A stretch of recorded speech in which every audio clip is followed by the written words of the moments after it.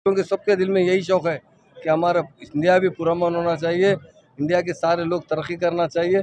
इसलिए कि हमारे स्टेट को देख रहे लोग, यहाँ पर कितना अमन भाईचारगी है और बहुत अच्छी तरीके से, खासतौर से नामपल्ली के जो हमारे इंचार्ज है, आनंद भाई साहब है और हमारे प्रभाकर करना जो एम एल है यहाँ के, वो भी आज के प्रोग्राम में शरीक है।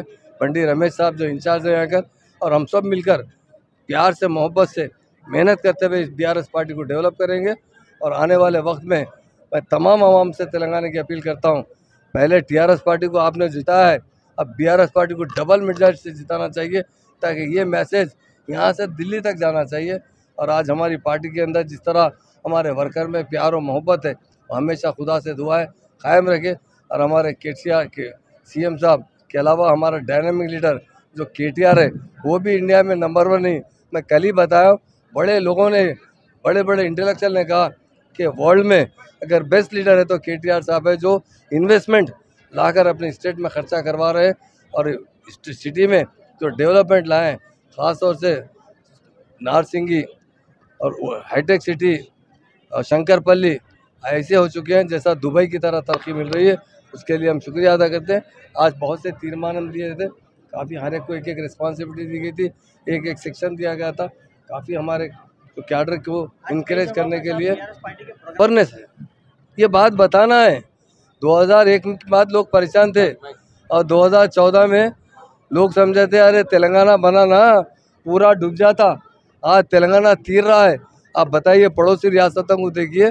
आज जो बी बनी है मैं यकीन से कहता हूँ हमारे सीएम साहब को खुदा मौका देगा तो चाइना भी हमको जिस तरह पाकिस्तान झुक गया हमारे सामने चाइना और अमेरिका भी झुक जाएँगे। ये हमारे सीएम साहब का कारनामा रहेगा और बहुत हम तरक्की करेंगे। हमारे सीएम साहब को में एक मीटिंग हुई सेंट्रल होम मिनिस्टर कह रहे थे कि अगर तेलंगाना में सरकार बन जाए तो मुसलमानों को एक परसेंट साहब ये मुसलमान क्या है? हिंदू क्या है? ये तो बताइए मुझे। कौन मुसलमान कौन मुंद जिसके माँ के पेट से पैदा होता है वही इंडियंस होता है। सबकी तरक्की सबकी होना चाहिए। ना हिंदू क्या है मुसलमान क्या है? ये बड़ी अफसोस की बात है। जात पात तो क्या है? सब एक ही भाई है, एक ही लाल खून है। मेरा अगर हाथ काटा जाए, रग काटा जाए तो मुझे भी लाल खून निकलेगा। हमारे आनंद भाई का हाथ काटा जाएगा, उनको भी लाल खून निकलेगा। ये तो जिसके पेट में जो पैदा होता है, वो कास होती है, उससे कोई फ़र्क नहीं है। हम सब मिलकर तरक्की करेंगे। ऐसे जो बातें कर रहे हैं, ज़रूर उसको हम जो है अफसोस का इजहार करते हैं। ऐसा नहीं करना चाहिए। सारे लोगों का डेवलपमेंट के बाद ही इंडिया डेवलप हो सकता है। ये